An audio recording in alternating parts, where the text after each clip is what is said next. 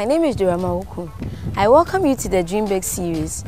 This program gives us young people the opportunity to meet key personalities who have achieved success and ask them to share their stories with us. The Dream Big series inspires us to work hard to also become achievers. This week, the Dream Big series takes us to the central region of Ghana to meet a special person who is an activist. His name is Mr. James Kofi Annan and he's the president of Challenging Heights. Mr. Annan's office is in this building. Please come with me to meet Mr. James Kofi and find from him what Challenging Heights is all about.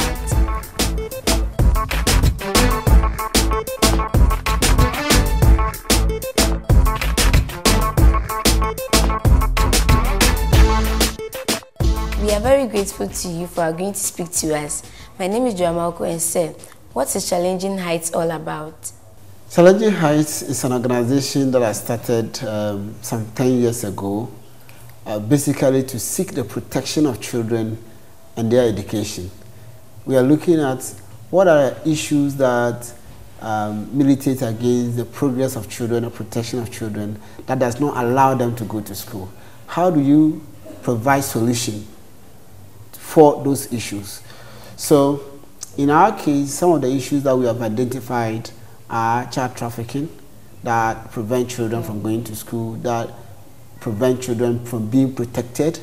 We also identified poverty, family poverty as one of them.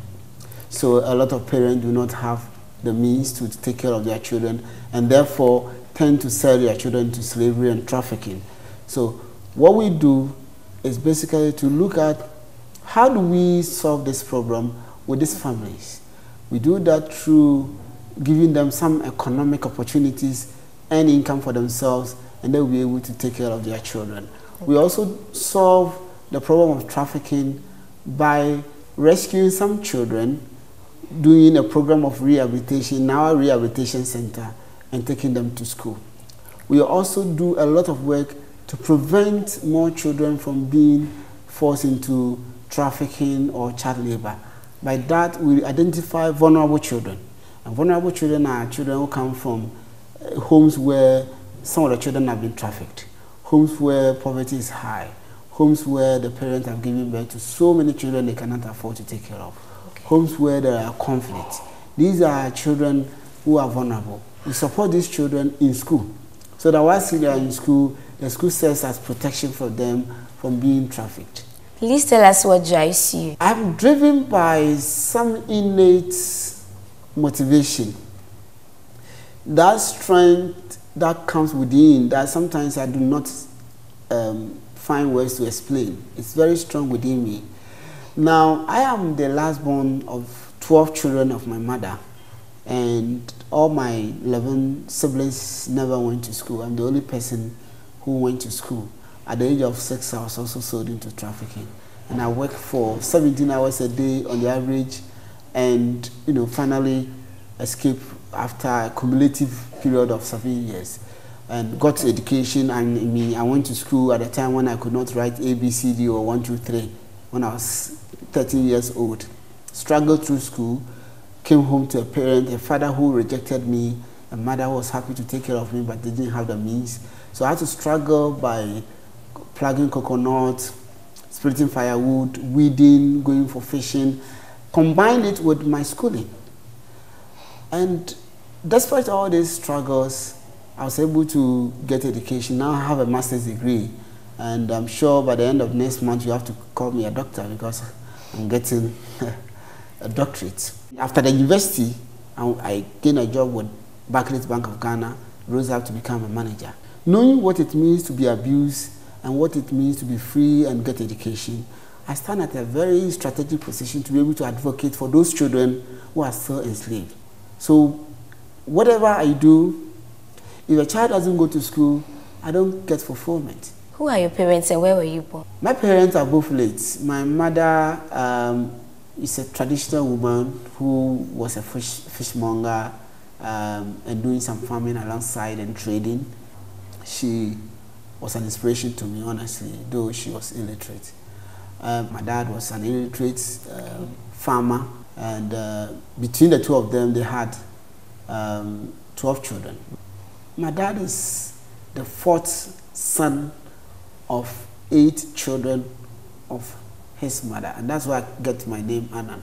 How was it like for you growing up? Which schools did you attend? It was a mixture of excitement, pain, and I would say later became like hopeful. I grew up in this community called Sankor in Winneba. I attended schools around. Um, I went to Winneba Secondary School and then went to University of Ghana for my first degree and I went to uh, University of Education for my second master's degree. Uh, my childhood was truncated, you know, was more or less suspended when the issue of child labor came in and I had to stop school. Like I had to leave my community and become an adult. It's like I was a child, all right, but I was transformed into an adult, working from when I was six years old till when I was um, 13 years old. So that, that break, cumulative break, um, deprived me of being a child. So I didn't have the opportunity to play um, because I was working. I didn't have the opportunity to have toys or and do the things that children would like to do and to have fun. No, I was always the serious person, was always a career person as a child, working typically starting from 3 a.m. and ending at 8 p.m. When I was supposed to have my childhood back, when I came at the age of 13, um, I was faced with the stark illiteracy, with poverty, and at the same time, my um, motivation, desire to go to school. When my other friends were playing, I either had to look for food or learning to catch up. Because at the age of okay. 13, I was put in class 6 because of the way I look. I look very boisterous, I look very strong. Everybody thought that I was going to abuse the other children in the lower classes if they put me there. So because I was forcing them to admit me, they put me in classes so that if I can't cope with it, I can I will just drop out. As a child, what did you dream about and in what ways did any of those dreams lead you here? Beginning, I didn't have a dream. Uh, my biggest dream was be, one of them was to become a carpenter as a growing up child. So because that's, that's the biggest profession I saw in my community. Then that changed to becoming um, a fisherman because I saw that the fishermen were having um, a lot of houses and also they you know, they will be sitting there in their lazy chairs and then food will be served and they don't have to, even when they want a spoon, they will call somebody to bring them the spoon. So it was a luxury thing that I saw that, okay, I can also have it. Somehow that changed after I, you know, I finally escaped to come and start schooling. Because then I was exposed to um, so many other things. Um, got to know that there are other options like um, there are teachers, there are lawyers, there are journalists, uh, there are engineers. There are so many options were available. And I saw myself doing well in school. I, in fact, the school I attended, I set a record there. That record is still there unbroken. So I was doing very well in school. So my ambition changed to wanting to become, um, you know, I started by saying I wanted to become a banker, you know, and, and fortunately I became a banker. And then um, I, if I said, I said, if I didn't become a banker, I wanted to become um, a, a big businessman, a doctor, and then journalist. At one time, I wanted to become a journalist. But all of them, um, I, I, I focus on my studies. Eventually, becoming a banker became a chance. Then, whilst I was working um, in the bank, I decided that that's not my area. After five years, I quit and I started this job. Somehow I've done the communication. Somehow I've written a lot of articles. I didn't become a journalist per se, but I've written a lot that is in line with the journalism. I love the faith you have and still have. Oh, yeah. Who is an activist? Yes. You are an activist. An activist is anyone who would like to highlight the plight of the vulnerable and to seek solution from those who must provide solutions. Okay. So usually, an activist might not be necessarily the person to provide the answers to the questions that he's asking, but he's asking the questions to other people who must provide the solutions and the answers.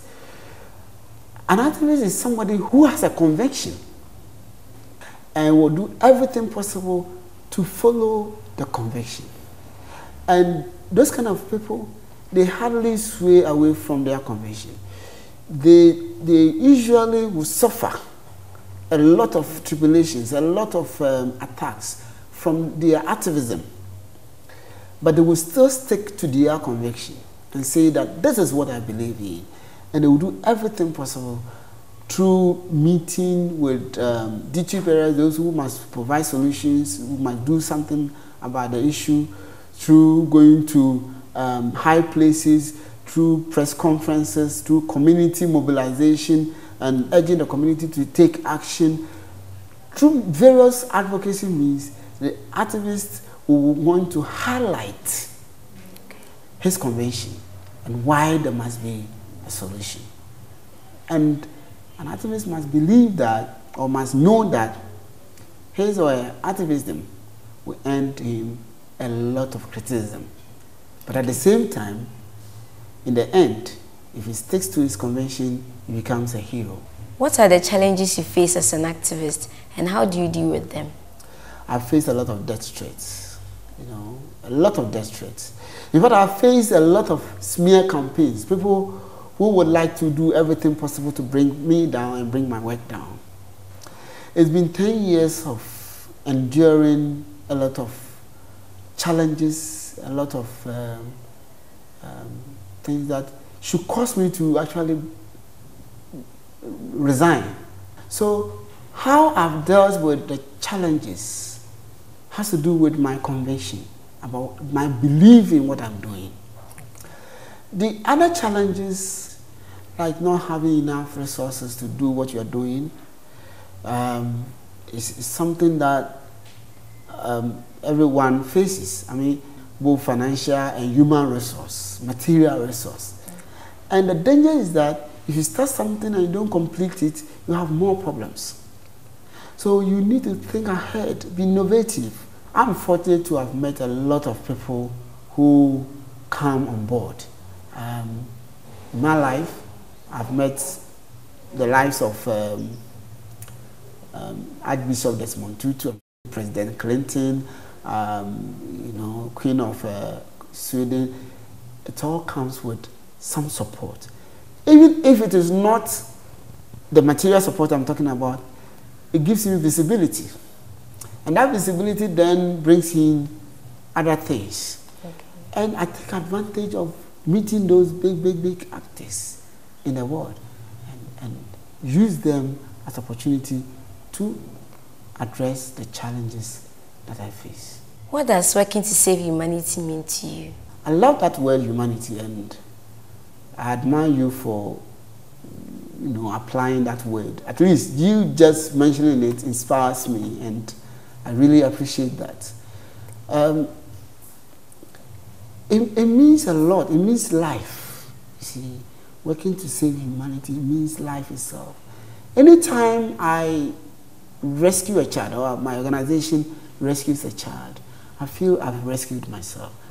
And means a lot to me because then I would have saved myself. Never should we allow people, some citizens of our world, to go through such callous situation, such inhuman environments, whilst others have it in, in opulence. Especially in my travels, I've gone to homes where there's a special accommodation well furnished for the dog in the house. Somebody is looking for 0.0001 percent of that just to survive, He's not going to get it. There's no way that person is going to get it. That person who has created that wealth deserves it because he worked for it. He deserved it. Is there any way that we can rechannel some, just a small of that resource to make life a little bit easy for those who do not have?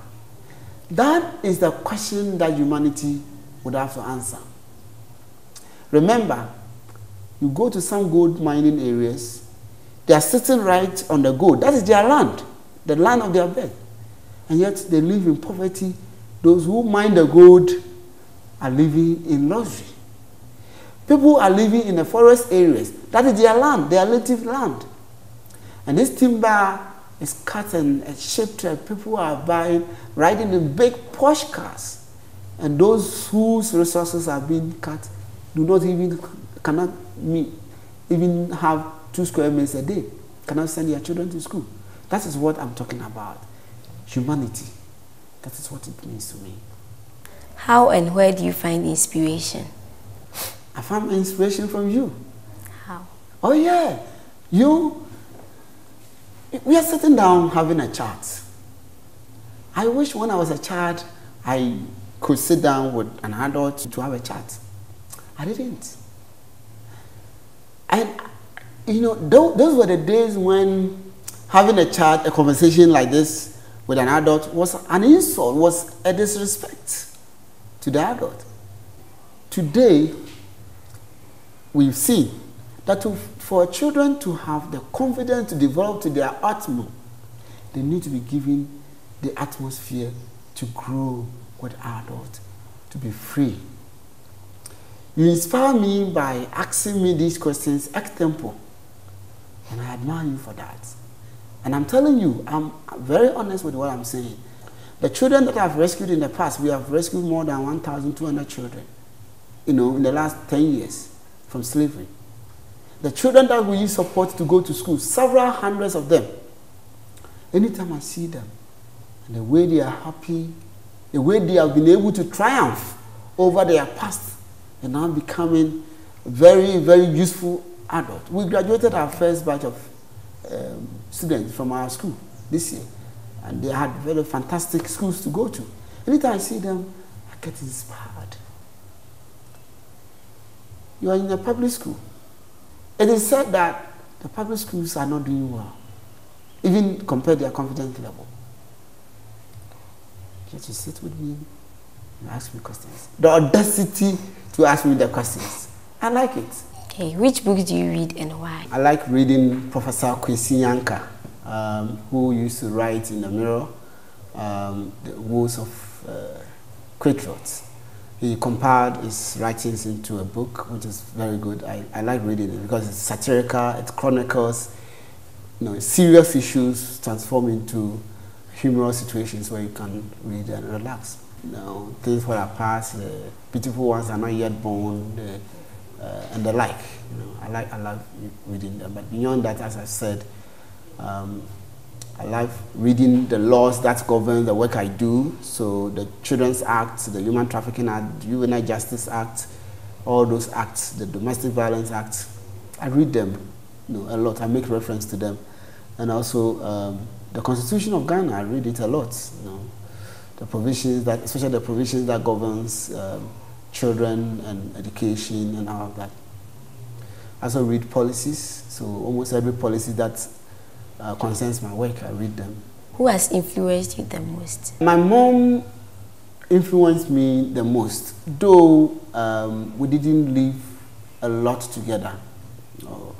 Um, she, her influence was on very little things, like she was always talking about um, how she was not happy that her children did not go to school 12 children and so she was always hoping that i would go to school but she didn't know how so i walk from here to uh, Winneba Secondary School, you know, it's a very long distance, but I, I couldn't afford boarding house, so I was from house going to school. I came home hoping that my mom would have gotten something for, for me to eat. She saw me and she started crying. I saw tears and I was asking, what, what, why? She didn't answer me. And then she said I should go to her room and uh, just take off the pillow. There was some money there I should take it for food. Then I wanted to find out more. She said she had not eaten since morning she was very hungry. And she didn't have any food to eat. But you just told me I should go and take money to go and find food to eat. She said, yes, because if I use that money to buy the food to eat, it meant that today you are not going to be able to eat. That was very deep. Till now, I've, I regret that she, she didn't live long enough to get anything from me. And it's still something that makes me, anytime I remember it, I want to do more to compensate her for that singular gesture. Have you received any awards for rescuing children? I've received so far 11 international awards. Won the Frederick Douglass Freedom Award, won the um, Grinnell Young Innovator for Social Justice Prize. Um, I've won the World Association of NGOs Education Award.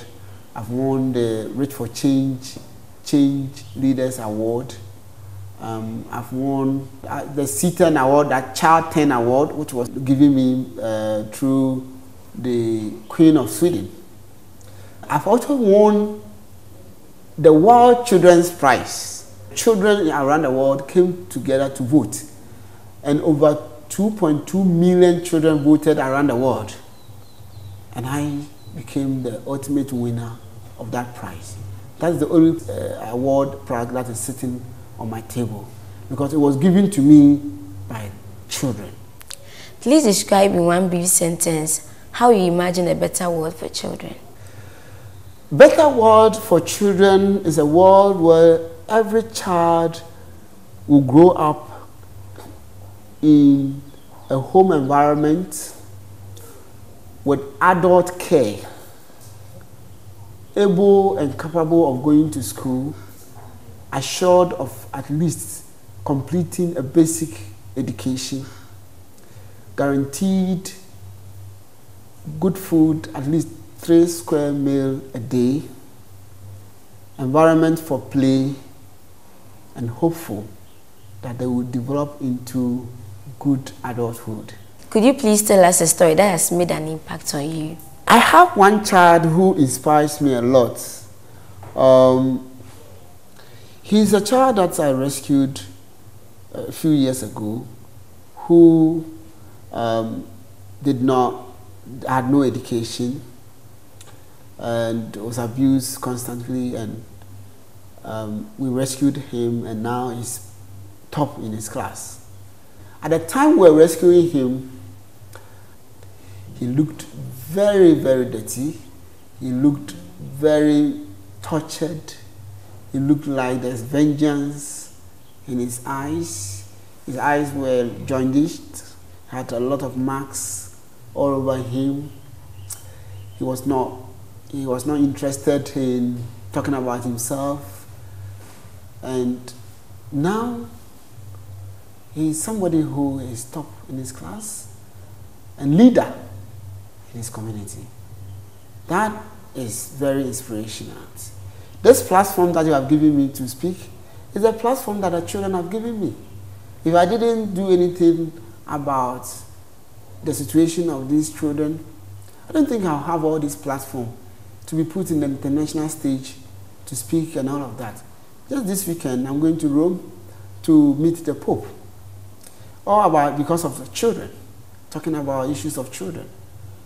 That is a very important inspiration for my work and for me, you know. So children are always the ones that put a smile on my face. Wow, you've given us real food for thought. We are very grateful to you for agreeing to speak to us and taking us through the challenging world of challenging heights. Mr. Thank you very us. much for having me. You're welcome. I am Dora Malco, and until I meet you same time next week on the Dream Big series, let us remember to dream big. Bye.